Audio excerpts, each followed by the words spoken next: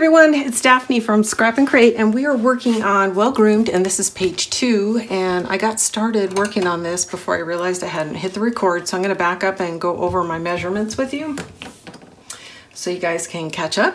So again, we're on page two.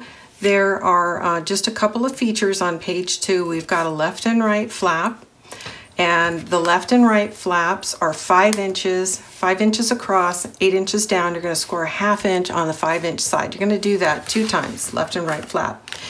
Then what I have here is a belly band slash pocket. And what makes it a pocket is I put a glue line down the center so that it doesn't pass through. And I'm actually gonna put inserts uh, on the left and the right hand side.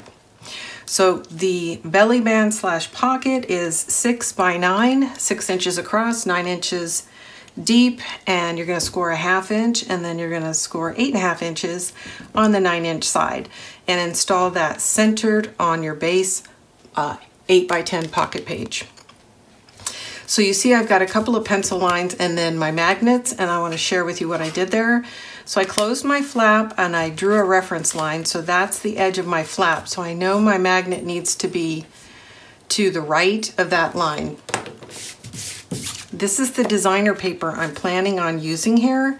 And so what I did was I centered it and then I also drew a reference line to the left and right, and those are the outside lines, so that I'd know that my magnet needs to go in between those two lines in order for it to be completely covered up and not exposed. Now, if you're doing a solid piece here, you don't need to fuss around with it that much, but I knew I was gonna be doing some color blocking, so I wanted to make sure my magnets were gonna be completely covered to the left and right.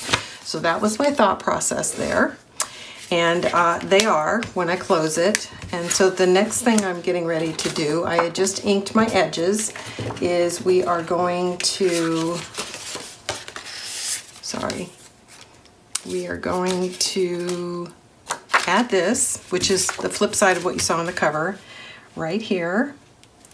And I'm gonna turn it sideways so that I can see the top and the bottom. I'm gonna go ahead and erase my reference lines. Mm -hmm because ideally when I color block, I'm gonna have a nice small seam between this cardstock and whatever I coordinate with it. And that pencil mark is likely to show up there. Okay, there we go. So now I went ahead and put a pencil mark on my center line and it looks like it's not right. I just noticed it looks like it's off center. So I think this is three and a quarter. It is. So if it's, it's three and a quarter,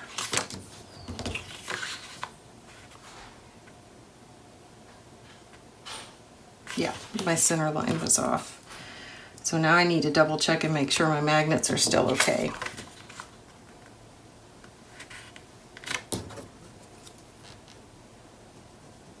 There we go. And I use this Tim Holtz ruler all the time to find my center lines. It's really nice to have. So I'm gonna line up the tick mark here and here. I use those to center the belly band on the base page. There's my center line. There's my center line. And this side is a little tight. So let me double check that. Did I, am I using the right reference line? Nope, we're good to go.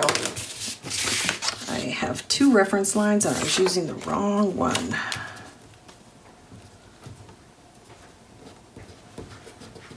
Okay, just to be sure, I'm gonna go ahead and go through that process one more time.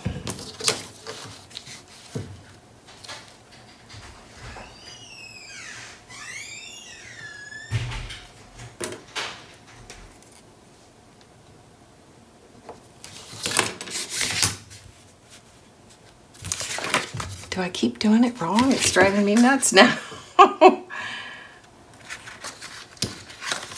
Hang tight, guys. One and a half plus, so it'd be one and five eighths. And it is, it's one and five eighths the pattern's monkeying around with my eyes. So that is one and five eighths. So that's gonna work fine. So I've already inked the edges. I'll get some glue on here, take off my tape.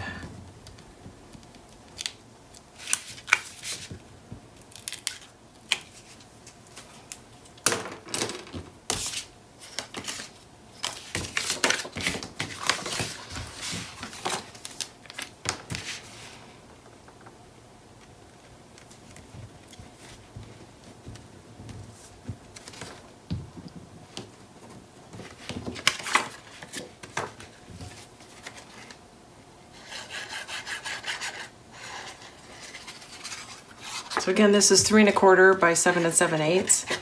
And it happened to just be a, a scrap that I had from trimming off the, um, the A side of the two flaps. So it could be anything you want. You could make this whole thing, this pattern if you wanted to, but I wanted to break it up a little. All right, now I'm looking for my two little tick marks. And there's one. And there's two.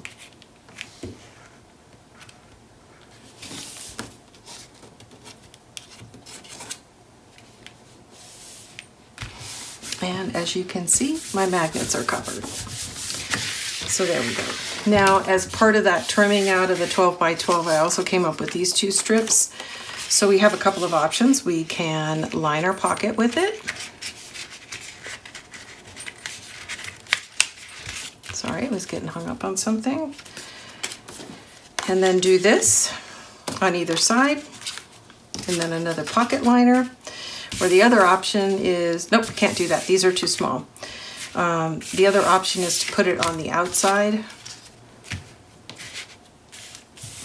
of the flap here, like so. And then I think I had planned to trim these down to fit right here, but I'm not sure. I don't know why. I, I cut those and then I forgot what they were for. So I think I was gonna do that, but I'm not sure. I really like this blue pattern, but I don't have a lot of it, so I have to really think through where I wanna put it in the book. Um, I just like that nice tight pattern. It goes against these sort of floral patterns really nicely. So I have to think about that a little bit. Um, I think regardless of what, what I put here, I think it'll look good to have these as the pocket liners. So let's go ahead and install these. And then I will take a break and line up the rest of the inside and then monkey around with the pocket inserts till I decide what size I want and I'll include that in the cut list as well as run a banner here to let you know, you know, what I'm gonna be putting in these pockets. Okay, so this is a little bit wider than what I need, so whatever is excess is gonna go right inside the pocket.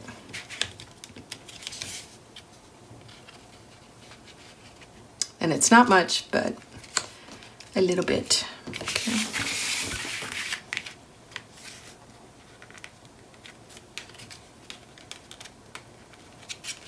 Okay, and then we're gonna back it out a little bit.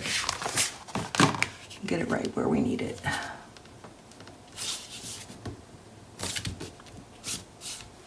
There we go, looks good. Use my bone folder, make sure it's pressed down on the inside It's a little higher than I wanted, but it still looks very nice. When you do black, okay, I just want to make sure I was keeping track of what was right side up. When you use black, it's pretty forgiving. So now we do this side, and it is inked.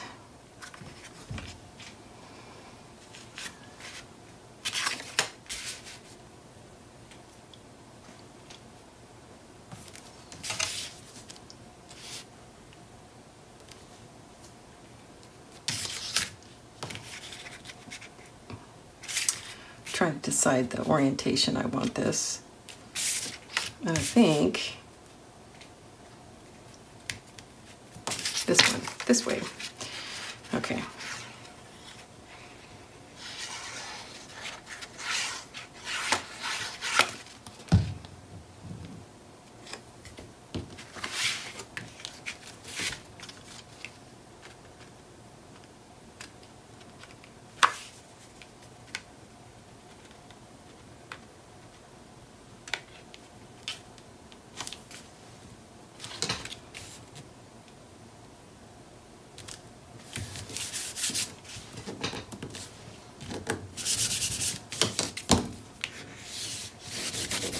Go.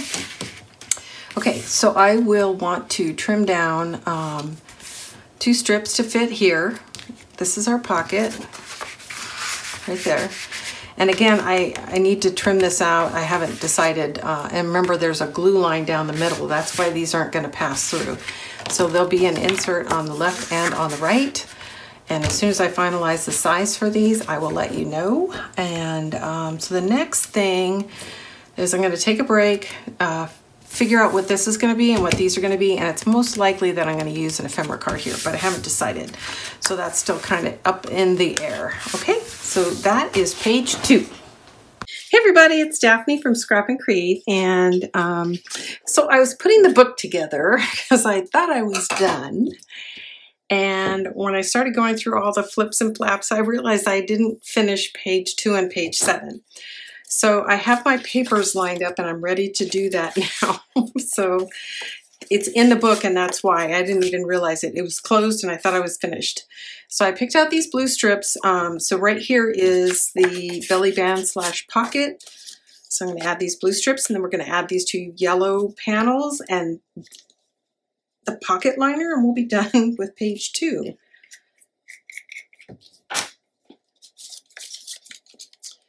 So this won't take very long at all. I think I've got everything trimmed to fit. Hopefully it'll go quickly. And then we will go back and wrap up page seven. Same thing, I, I didn't finish the inside of page seven. I, I was thinking, man, I really thought I was going to have less paper left over. What I must miscalculated. And then uh, after I covered all this, I was like, oh, that's why. I skipped the B side on two pages. Oops, no ink. This I might actually need to test. Make sure it's not too tight. I prefer to do this out of the um, book, especially when I'm when I need to line a pocket because um, it's already done. I did that outside of the pocket, but it's really hard to get things inside the pocket when it's in the book. Um, you just have a lot less flexibility.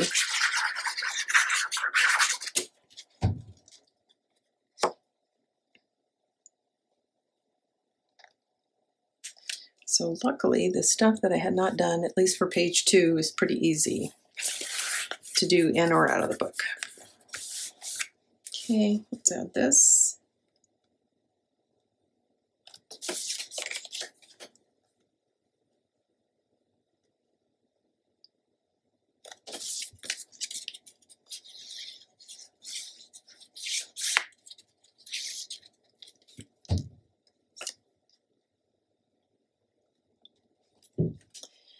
All right.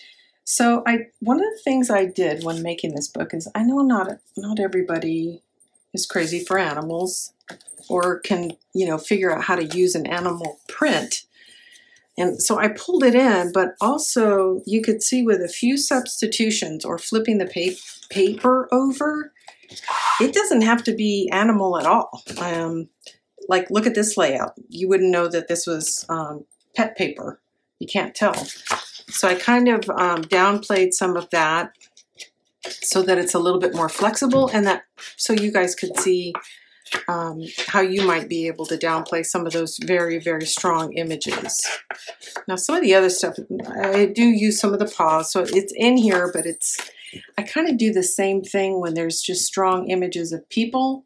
I kind of downplay that um, because I, it's, I just can't imagine putting a photo on a scrapbook page that has, uh, you know, a woman's face on it because then your picture is competing with that woman's face. I can see it on the cover, but, or on the A sides, but if it's on the B sides or on the um, centerpiece, I, I just don't want my photographs competing with that image. So it's just my, my thought process. Everybody's a little different. And that only matters if you're using it for a photo album. If you're making a journal, doesn't really matter, right? You can have as bold as images as you want. Okay, we've got a couple of inserts for this. And remember, this is glued in the center so it doesn't pass completely through. There we go. Page two is done. Really done.